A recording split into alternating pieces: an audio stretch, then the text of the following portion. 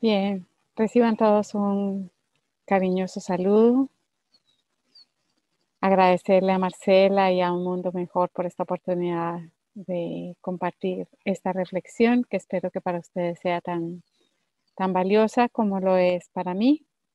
Es simplemente un compartir de cosas que nos van sucediendo y que nos vamos preguntando en estos tiempos tan, tan maravillosos y desafiantes que vivimos. Venía cuestionándome hace ya de hace un tiempo por qué nos cuesta tanto reconocer nuestra propia realidad, por qué nos cuesta tanto aceptar las condiciones o las circunstancias que nos corresponden en este momento.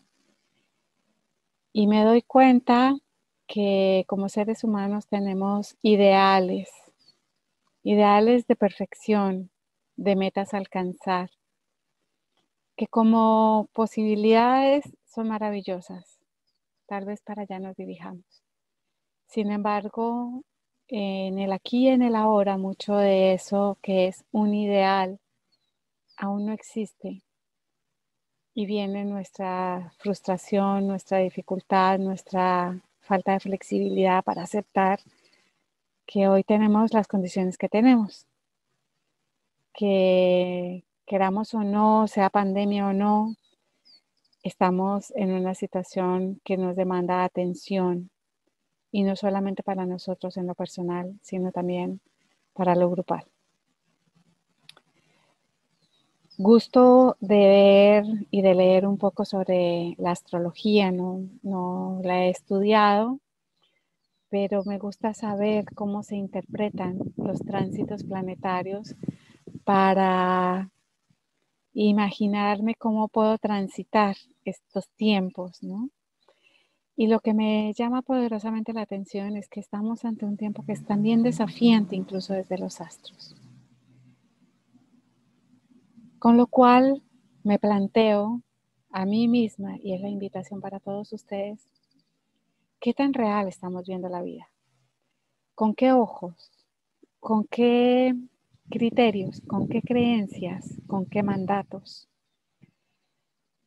¿Qué de esas cosas que hemos dado por sentadas, por verdades y tal vez como realidades que no existen, todavía pretendemos caminar este tiempo?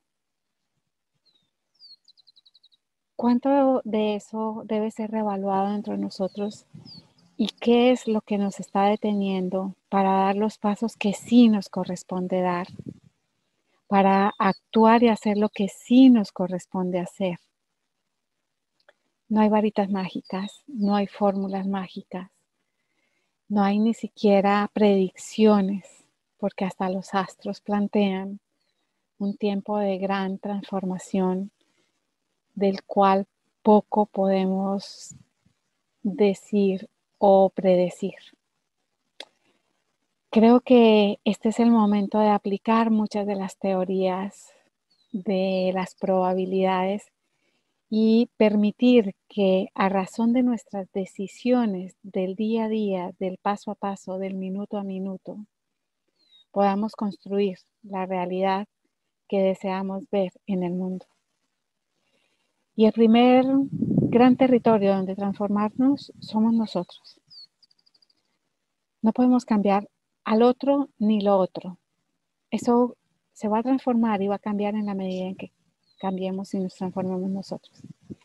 Entonces, esa es mi invitación. ¿Cuál es el paso que nos corresponde como individuos dar? ¿Qué me corresponde hacer como mamá, como hija, como hermana, como tía, como abuela, como compañera, como profesora, como maestra.